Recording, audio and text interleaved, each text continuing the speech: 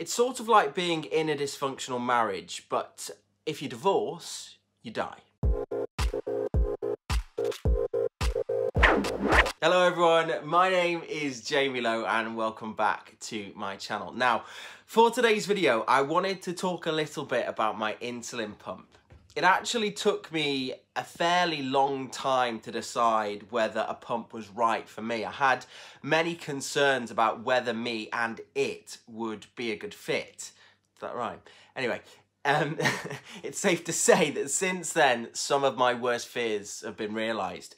Ever since I put out my first video about my insulin pump, I've had literally hundreds of messages asking whether an insulin pump is the right way to go or whether it's even worth it. Well, the truth is, that is really only something that you can decide for yourself. But I was thinking about what I could offer that could be helpful and something that would have really, really helped me is a, a sort of list that um, set out really the things that would have annoyed me about an insulin pump now, I think most of us know that an insulin pump can help you get better control. For example, I've greatly reduced the number of hypos that I have, but is that worth it? For some, especially for my viewers from other parts of the world, an insulin pump is not just a health-related decision, it's quite a big financial one too and, a, and you know a massive financial decision at that. So hopefully this video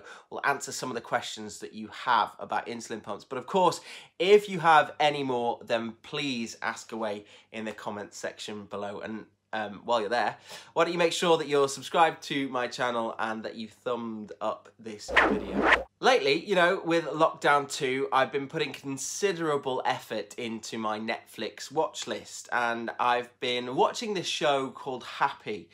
And to cut a long story short, it's about a man trying to find his kidnapped daughter and his daughter's imaginary friend, a blue un unicorn called Happy, is helping him.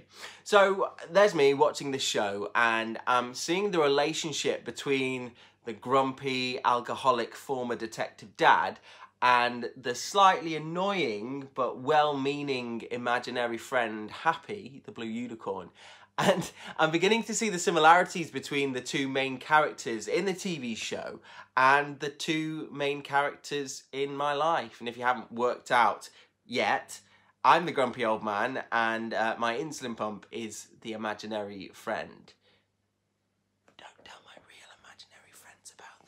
So before we get into too much detail, that's a really nice way to sum up how I'm feeling about my insulin pump right now. It's really useful, it's great at its job, but oh my God, can it be annoying sometimes.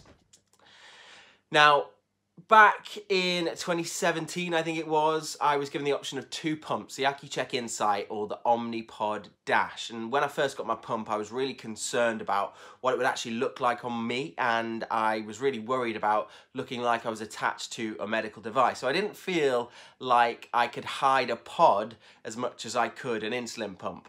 What that means now is that I'm connected uh, by a tube to this can you see it, to that relatively heavy for its size medical device. Now this has caused me a few issues. Firstly, sleeping.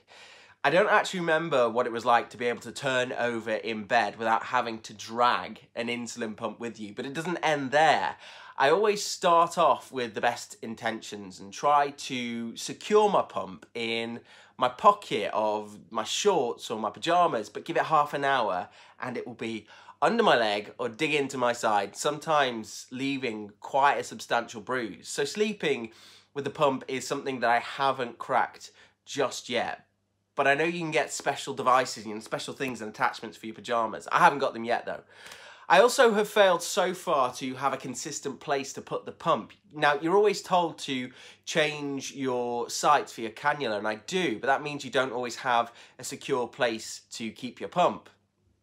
Every time I unexpectedly have to run for some reason, I have to grab hold of my pump literally because that's going to be the first thing flying out of my pocket and that can actually be quite painful depending where your pump site is. You know, if the pump leaves you but you're still attached to it, that can get painful.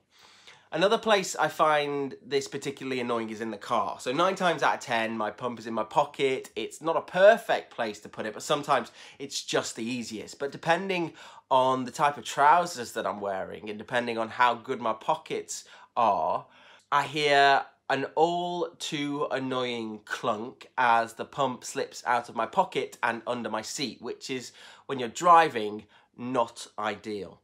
Now, before you get a pump, you'll likely be warned about how much effort a pump will actually require and the amount of maintenance that you'll be expected to do.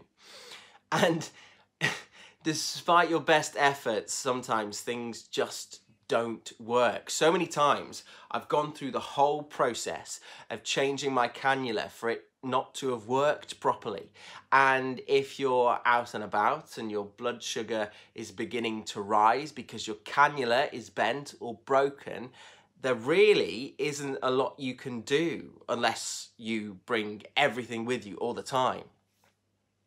And a final thing is the beeping and buzzing. Obviously there's a reason for it. If your pump needs your attention, it needs to let you know, but oh my God, does that get annoying in the way that it goes about it. So many times I've woken up hearing a hmm, hmm, hmm, hmm, or a beep, a that's getting louder and louder. I'll feel like a buzz on my leg. Now, obviously that's not that annoying in itself, but if you can't get to your pump immediately. For example, if you're driving or doing anything which means that you can't immediately stop and direct your attention to your pump, then it will not stop. And I, I don't know what it is. Maybe it's just me that gets progressively winded up, wound up by, by the pump and its noises. But it does, it really, really gets on my nerves. So there we go. That's what I wish that I knew before deciding to get an insulin pump. And I know that I've spent the last, I don't know, probably four to five minutes moaning, but with even all of that, an insulin pump for me is still worth it. But what do you think? Are you deciding to move to a pump or do you maybe have some more questions? Let me know in that comments box below. But that is all for today's video. Thank you so much for watching. I do mean that. If you've got any questions about insulin pumps, you want to hear more about my experiences, then just let me know. That comments section is for you to use. And whilst you're down there, make sure you're liking this video and subscribing to my channel because that's the only way that you'll see my face again. Um, so I hope to see your face again back on my channel for another video sometime soon. Bye-bye for now.